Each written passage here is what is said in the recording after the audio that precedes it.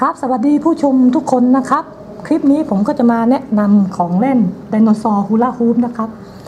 เป็นของเล่นไดโนเสาร์เล่นห่วงฮูล่านะครับ เป็นไดโนเสาร์คอยาวนะครับ อันนี้ก็จะเป็นภาพด้านหลังนะครับ มีคำอธิบายเป็นภาษาอังกฤษครับ และด้านข้างนี้ก็จะมีอีกสีหนึ่งนะครับ มีทั้งหมดสองสีนะ เขียวกับชมพูครับอ่าครับในเซ็ตก็จะมาทั้งตัวอย่างนี้นะครับ นะครับข้างล่างก็จะมีตัวล็อกนะครับ ตัวล็อกสินค้าไว้นะยึดไว้ครับอ่าครับ ข้างใต้นี้ก็จะยังจะเป็นที่ใส่ถ่านเหมือนเดิมครับ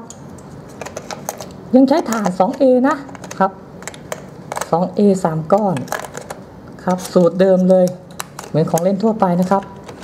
ครับสวิตช์ก็จะอยู่ตรงนี้นะครับครับ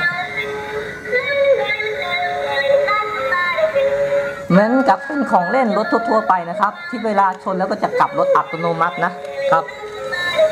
ครับมีไฟนะ มีไฟตรงห่วงกับมีไฟตรงหลังด้วยครับ คอก็จะหมุนได้นะครับ เป็นของเล่นที่เหมาะกับเด็กต่ำกว่าอายุ3ขวบนะครับครับพราะด้านข้างนี้ก็จะมีตัวหนังสือนะถอดออกมาได้ครับ ครับ ถอดออกมาได้นะ แล้วก็ใส่กลับเข้าไปได้ครับ